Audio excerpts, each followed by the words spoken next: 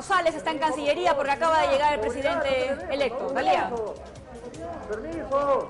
Así es, Pamela. Entonces recibe el canciller al presidente electo Pedro Castillo. Acaba de llegar solo hace unos segundos, 8 y 47 de la mañana, dos minutos después de lo que se tenía programado, pero ya ingresó por esta alfombra roja. Vemos que hay bastante seguridad, incomodidad de parte de los colegas porque se ha impedido la visión en todo momento.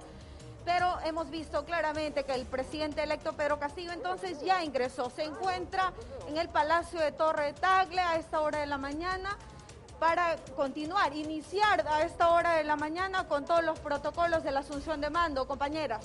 Así es, a las 11 de la mañana, Talía, confirma, se va a realizar la ceremonia de entrega de las órdenes nacionales al señor Castillo.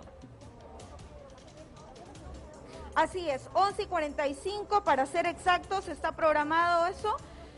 Y eh, lo que nos han comentado aquí también es que la familia del presidente electo estaría llegando en cualquier momento ah, para ingresar también a la Cancillería. Todavía no vemos mayor movimiento a esta hora de la mañana, pero por supuesto estamos a la expectativa.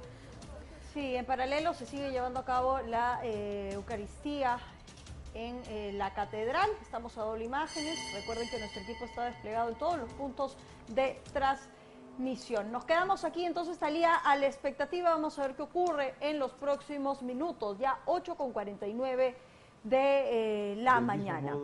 Hay otro punto.